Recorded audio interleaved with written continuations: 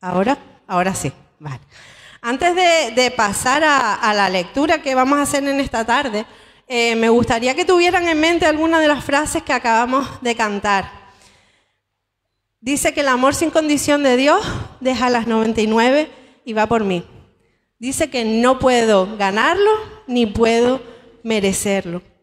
Dice que no hay sombra que no alumbre porque Él es la luz. Monte que no escales para encontrarme a mí.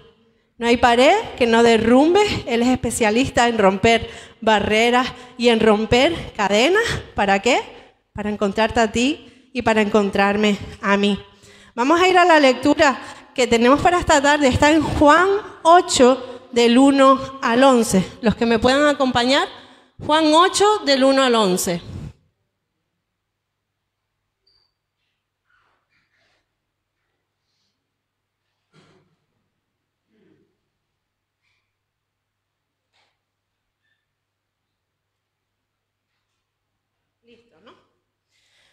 Vamos allá.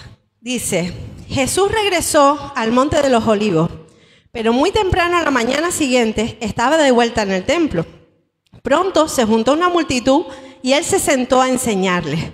Mientras hablaba, los maestros de la ley religiosa y los fariseos le llevaron una mujer que había sido sorprendida en el acto de adulterio. La pusieron en medio de la multitud. Maestro, le dijeron a Jesús, esta mujer fue sorprendida en el acto de adulterio. La ley de Moisés manda apedrearla.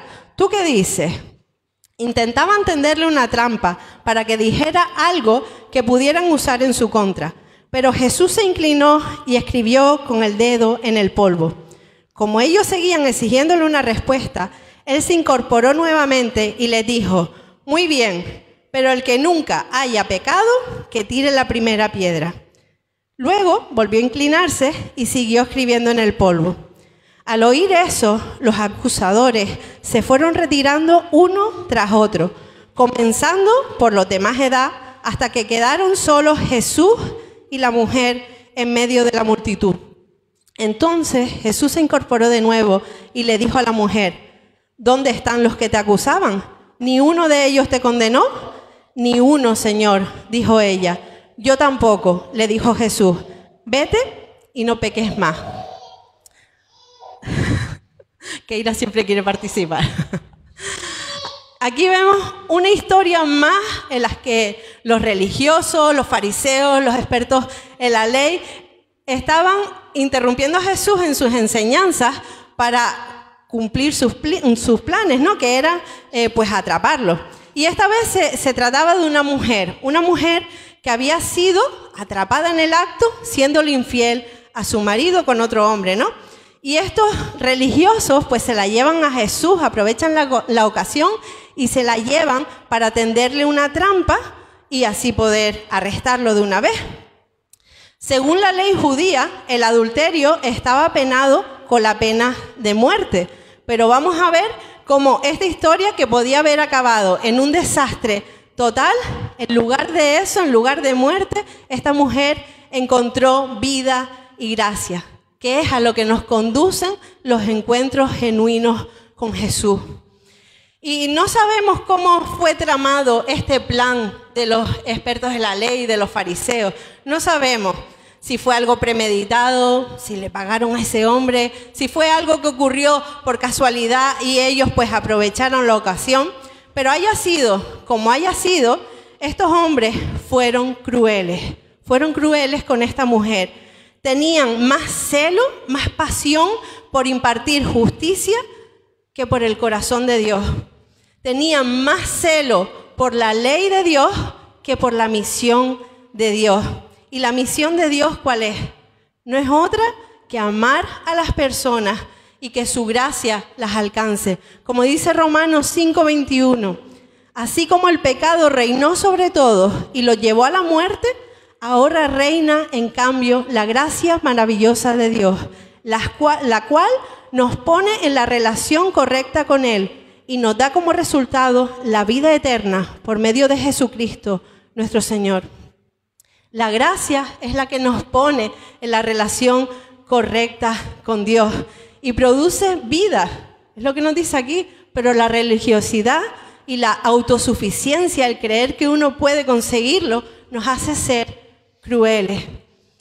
Nos lleva a no valorar la gracia y a pensar que, que sí que somos merecedores de esa gracia.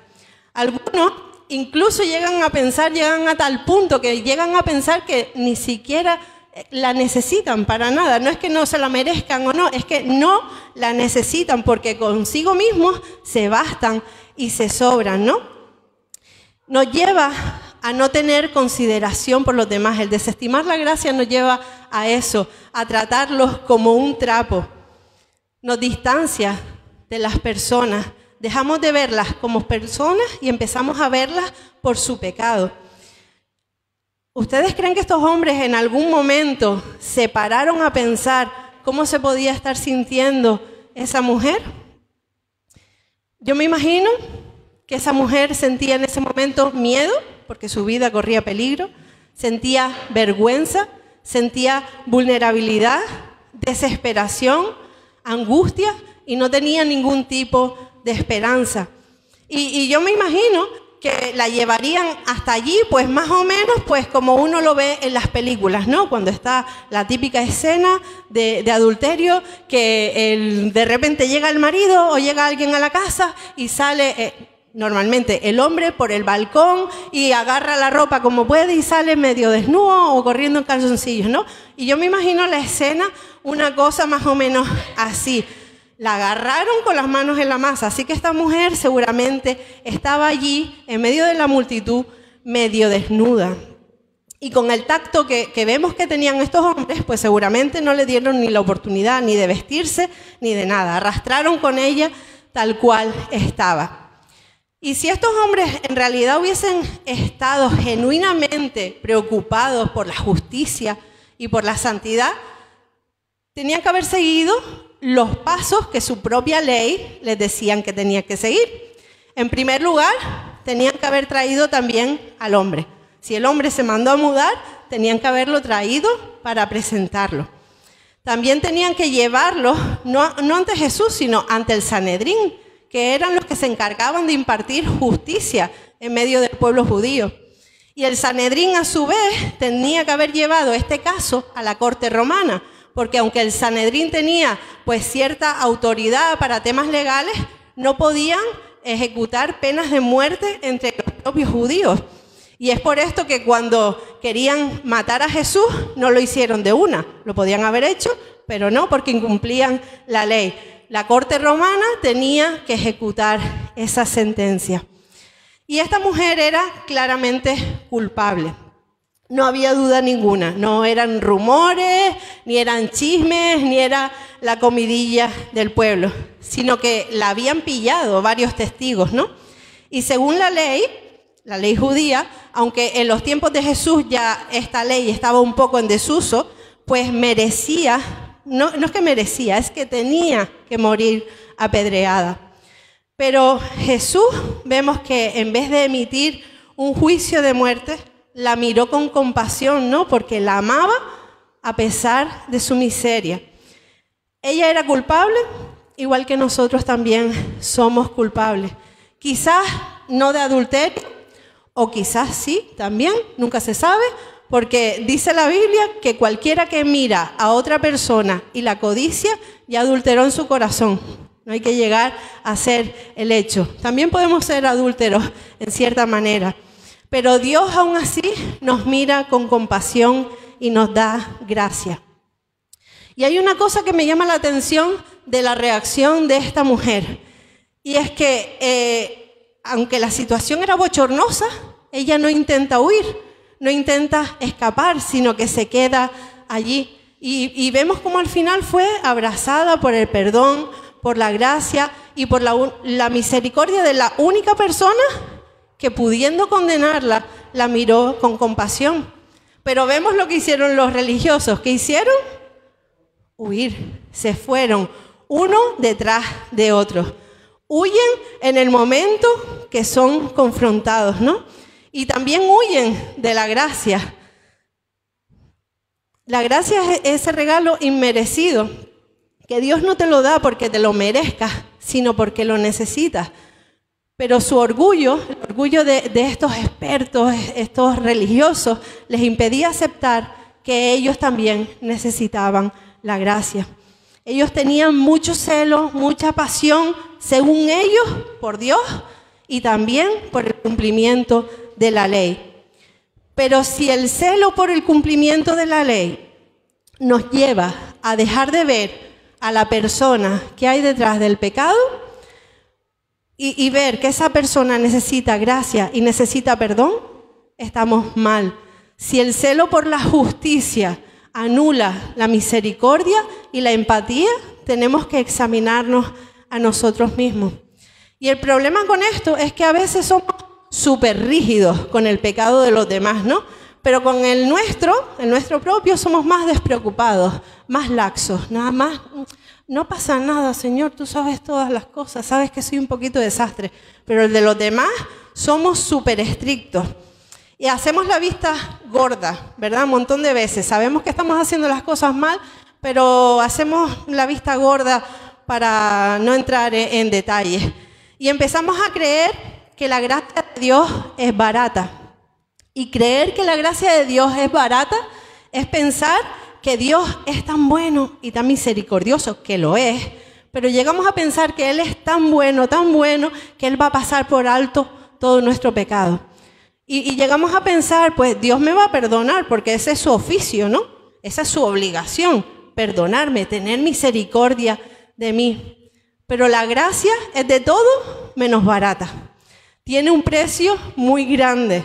Aunque nosotros la recibamos gratis, la gracia tiene un precio. Jesús dejó toda su gloria en el cielo para hacerse un humano por ti y por mí. Él vino a padecer y cargó con el pecado de toda la humanidad. Cargó con la culpa voluntariamente para darnos la oportunidad, como decía el versículo que leímos antes, de ponernos en la relación correcta con Dios.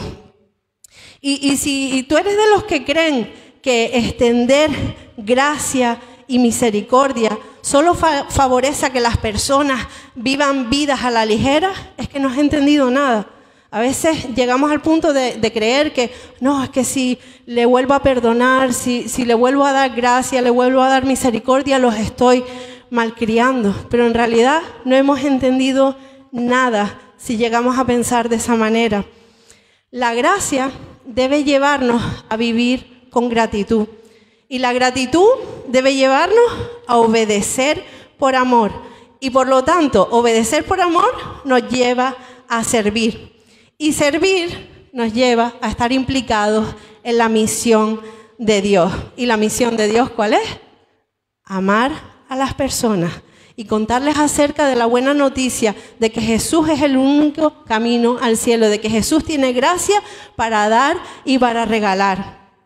Y vemos que Jesús no le puso una penitencia, ¿no? Como cuando eh, los católicos van a la iglesia y el cura les pone una penitencia por su pecado. Jesús no hizo esto. Ya bastantes consecuencias personales le iban a traer a esta mujer el haber cometido ese pecado. ¿Quién sabe si su matrimonio se rompió después de esto? Porque fue un escándalo. ¿Quién sabe? Quizás había hijos pequeños en esa relación que tuvieron que pasar la vergüenza, el dolor y la humillación de ver a su madre de esa manera. Quizás tenía hijos grandes que se resintieron tanto que no quisieron volver a tener una relación con ella. No sabemos lo que pasó después, pero por la experiencia que le hemos visto pasar a otras personas, podemos imaginar que algo así pasaría. Pero Jesús la miró y le dijo, no te condeno. Tienes una oportunidad, pero vete y no peques más, no vuelvas a caer en lo mismo. Y es que no todo se arregla con castigo y más castigo. Y yo recuerdo hace unos años atrás, cuando no me acuerdo cuántos años tendría yo, como 18, así, o sea, ya hace unos cuantos años atrás, eh, todo el rato escuchaba en las iglesias, es que fulanito está en disciplina. Es que el otro está en disciplina. Es que el de más allá está en disciplina. Y a veces es verdad que esas personas a las que se les había puesto en disciplina, pues eh, habían metido la pata hasta el fondo. Y a pesar de que los pastores, los líderes de la iglesia, pues habían intentado hablar con esa persona una y otra vez para llegar a, a encontrar una solución, para llegar a la restauración, esa persona se negaba una y otra vez a pasar por el aro, porque se empecinaba en seguir lo suyo. Pero a veces, eh, cuando escuchaba esto de que este está en disciplina, el otro está en disciplina, era por chorrada, por simplemente llevar la contraria en algo, por hacer las cosas de una manera en la que los demás no estaban de acuerdo. Y conozco gente que incluso se les permitió el acceso, se les, se les permitió, no, se les impidió el acceso a la iglesia. Y algunos, eh, en el caso de que pudieran llegar a ir a la iglesia, se tenían que sentar en las últimas sillas cuando el culto estuviera empezado y marcharse nada más terminar, para que no tuviera comunión con los demás porque no se lo merecía. Con Dios es igual. Cuando nos arrepentimos de algo, debemos pedirle perdón y dejar de hacer eso por lo que hemos pedido perdón. Porque si no hay un cambio, es absurdo. Si, si no hay un cambio, lo que hay es remordimiento. Es la culpa falsa, ese sentimiento que, nos hace sentir mal un ratito, pero que no nos lleva a nada. Nos lleva a pensar que, bueno, que tenemos que hacer muchas cosas bien para llegar a merecerlo, ¿no? Pedir perdón muchas, muchas veces, pero no es suficiente. Tenemos que cambiar nuestra manera de actuar. Porque si dejamos que el remordimiento se apodere de nosotros, lo que va a pasar es que nos vamos a sentir un ratito mal, pero vamos a encontrar la manera de silenciar ese remordimiento rápido con otras cosas, ¿no? Y la religiosidad al final solo añade más carga, pero la gracia y el perdón de Dios nos hace libres. Y una vida transformada es consecuencia de haber puesto nuestra fe en Jesús. Pero a veces pensamos que es al revés. Pensamos que para poder merecer tener una relación con Jesús, primero tenemos que merecerlo por nuestros propios méritos y nuestras propias fuerzas. Y es ahí cuando empezamos a creernos que nos merecemos el favor de Dios y que realmente no necesitamos su perdón. Ellos presentaron este caso a Jesús y le exigían una respuesta, porque vemos que Jesús le hablaron como el que oye llover, se echa para adelante y empieza a escribir con el dedo en la tierra, como si no los estuviera escuchando. Y ellos insistieron, queremos una respuesta, te hemos hecho una pregunta.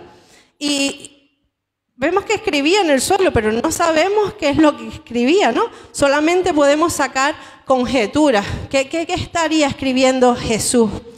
Algunos piensan que a lo mejor solamente estaba haciendo garabatos para desviar la atención de esa pobre mujer que estaba ahí en medio y atraerla hacia él. Otros pensaban que estaba haciendo una lista de pecados de todos los que venían acusando a esa mujer.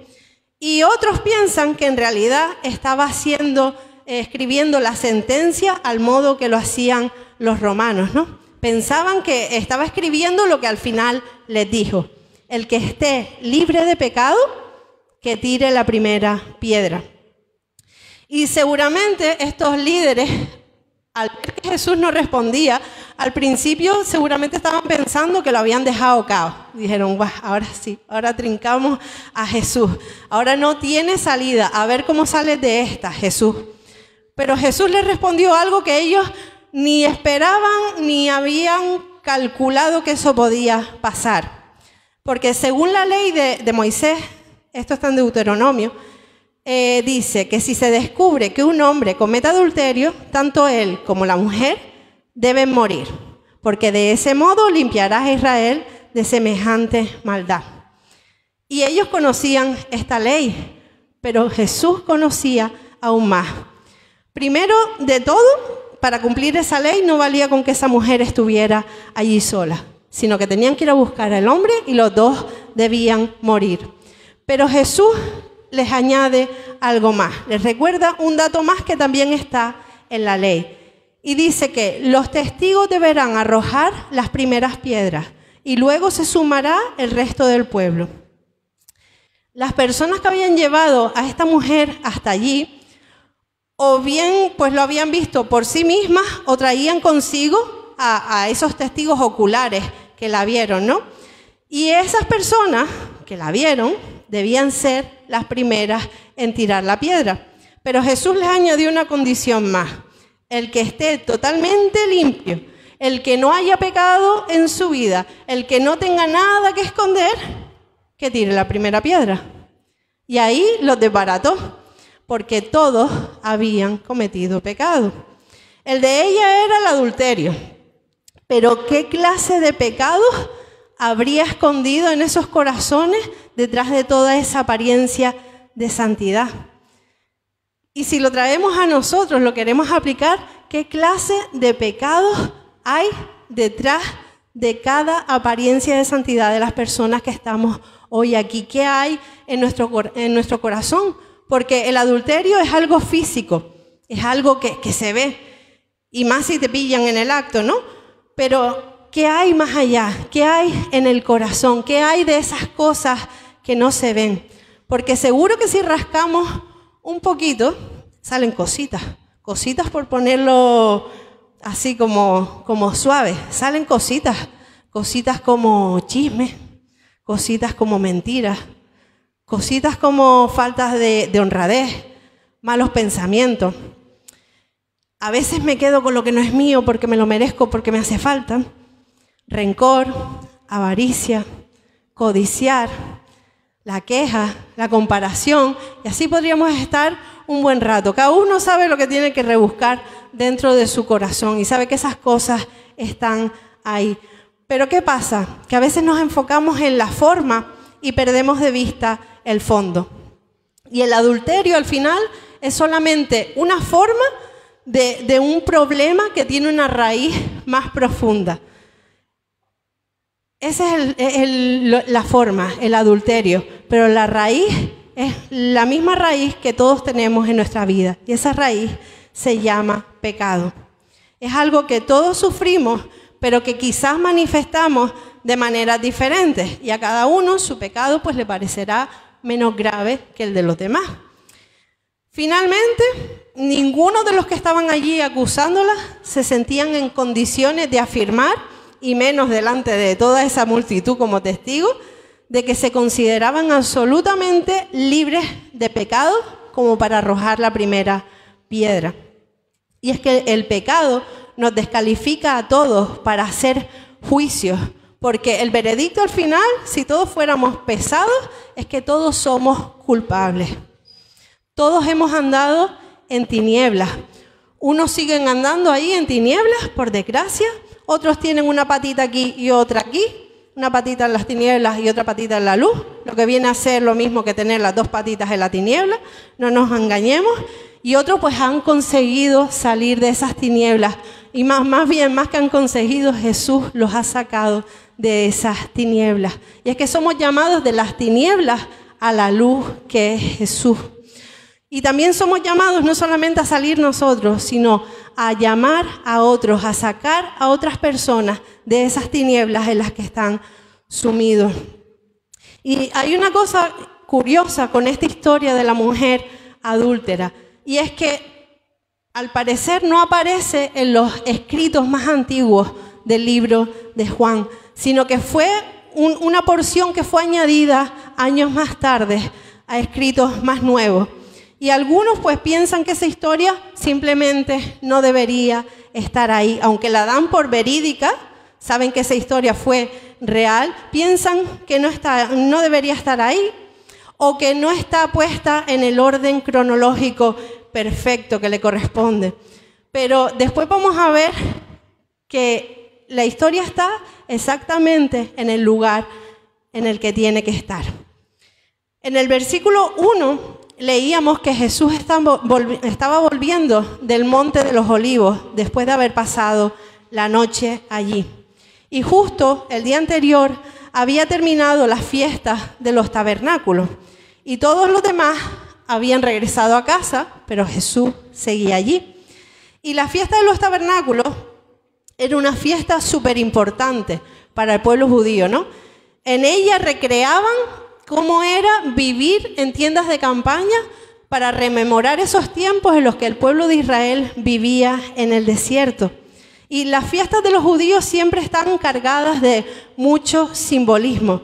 Y, y en esta fiesta en concreto, pues recordaban también la gran columna de fuego que los acompañaba en el desierto.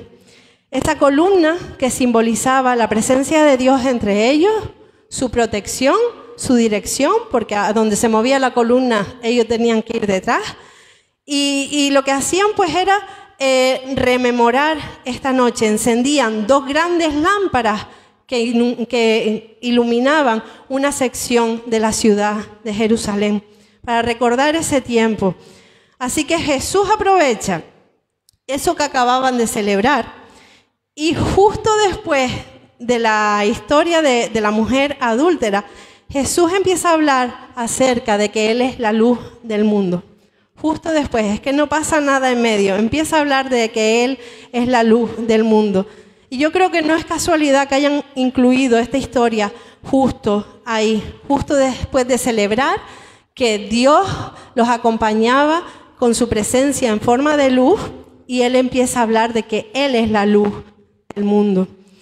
Lo que había pasado con la mujer, todo ese follón que se había formado ahí, era un acto de oscuridad, fruto del pecado en el que toda la humanidad está inmersa. Pero Jesús trae luz a esas tinieblas. Donde Él está, se disipa toda la oscuridad. Y al igual que Él es la luz, también nos llama a nosotros a ser luz. En lugar de traer más oscuridad, más juicio, más dolor, más castigo, estamos llamados a traer luz.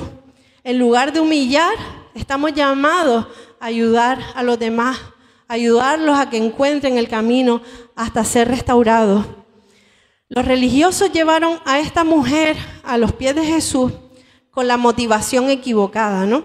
Querían atrapar a Jesús.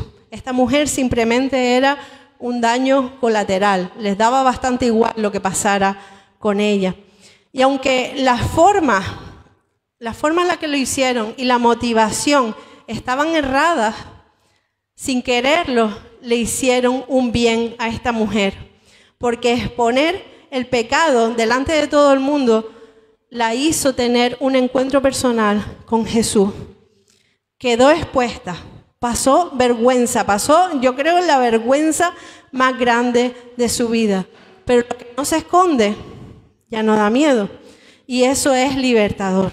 Eso es liberador, no tener que estar escondiendo cosas, no tener que cargar con el peso de un secreto, de un pecado que nos está arruinando la vida. Esa mujer encontró libertad, encontró a esa luz que la sacó de las tinieblas. Y nosotros tenemos también que traer luz donde hay oscuridad, pero también que el amor sea lo que nos motive, que sea lo que nos guía, porque sin amor todo lo que hagamos no sirve para nada. En este caso Dios usó el mal que le estaban haciendo para convertirlo en bien, pero nosotros conociendo esta historia debemos ser guiados por el amor. Debemos revisar nuestras motivaciones, porque de un día para otro la tortilla se puede dar la vuelta. Podemos eh, estar un día levantando el dedo contra alguien, acusando a alguien, levantando juicio, humillando, trayendo a la luz todo eso tan malo que ha hecho. Que no digo que haya que ocultar cosas, pero estoy hablando de las formas. Y un día podemos estar siendo ese lado acusador. Y al día siguiente resulta que nosotros metemos la pata y nos vemos como esa mujer en medio de una multitud que nos señala, que nos humilla, descubiertos y avergonzados, en medio de un círculo de personas que no tienen ni piedad ni compasión, que lo que quieren es castigarnos en vez de ayudarnos. Y todos los que estamos aquí en esta tarde, al menos hemos tenido la oportunidad, se nos ha presentado la oportunidad de restablecer nuestra relación con Dios. Y eso lo hacemos a través de Jesús sea que lo hayamos hecho o no, que hayamos aprovechado esa oportunidad o no, todos hemos tenido la oportunidad. Todos hemos sido como esa mujer. Y si estamos aquí es porque de alguna manera tenemos inquietudes y sabemos que no somos perfectos. Sabemos que somos pecadores, que no podemos eh, cumplir con la ley de Dios y que necesitamos que Él nos ayude, que nos rescate y que nos saque de esa oscuridad. Y yo no sé en qué punto te encuentras hoy. No sé si estás en el punto de, ser como esa mujer. Te han pillado con las manos en la masa y has sido expuesto, has pasado la vergüenza de tu vida. Quizás estás haciendo cosas que no debes y todavía no te han pillado, pero tiempo al tiempo todo sale a la luz. Así que lo más inteligente es que te descubrieras a ti mismo delante de Dios y le pidieras primero perdón a Dios y luego a las personas a las que le hayas hecho daño por lo que sea que, que puedas estar haciendo. No sé si estás en el otro bando, no sé si eres de los que observan y señalan porque tu pecado eh, no te horroriza, pero el de los demás te espanta. Los que señalan pueden hacer dos cosas. Una es inteligente y la otra no tanto. Pueden hacer la primera cosa, que es aplicar la ley y juicio, perseguir y castigar a las personas, pero en realidad eso es algo que no nos corresponde a nosotros. No estamos en posición de hacerlo porque estamos en igualdad de condiciones que la otra persona.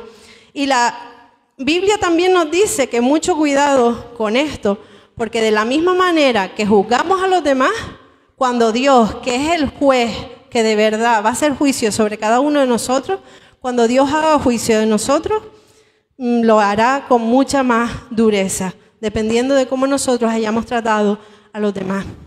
O podemos también coger la opción inteligente, que es mirar a las personas con compasión. Mirar a las personas como Jesús lo hace.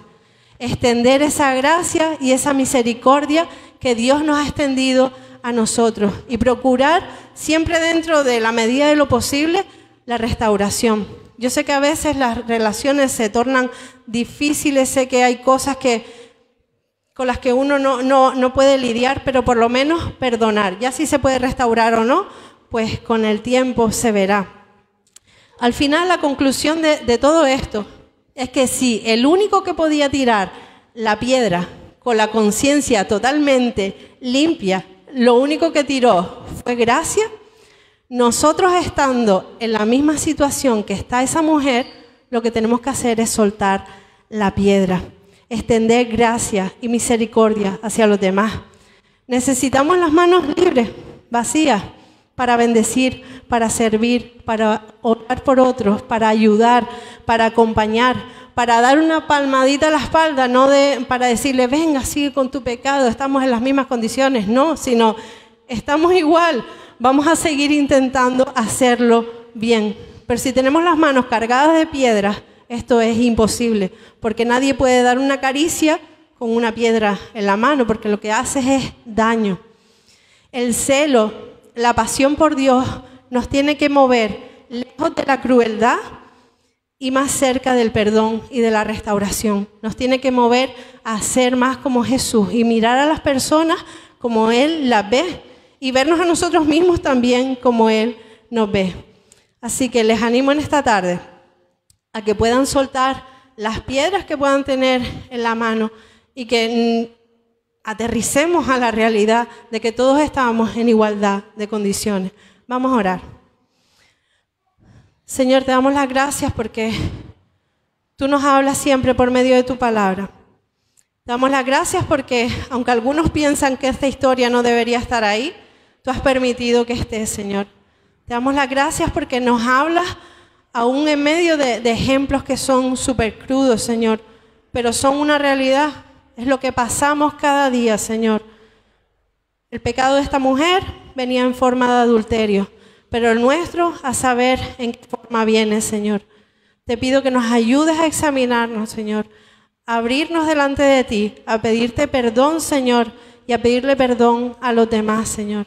Y ayúdanos también de cara a los demás a no juzgar de manera tan dura, Señor, a verlos como tú los ves, Señor. Ayúdanos a extender esa gracia, esa misericordia y ese perdón, Señor. Ayúdanos a ser más como tú y ayúdanos a, tener, traer luz a todas las tinieblas que nos rodean, Señor. Porque tu luz disipa toda la oscuridad, Señor. Como cantábamos antes, tu amor rompe cadenas, rompe barreras, Señor. Ayúdanos a tener, aunque sea un poco, de ese amor para poder alcanzar a las personas para ti. En el nombre de Jesús, amén.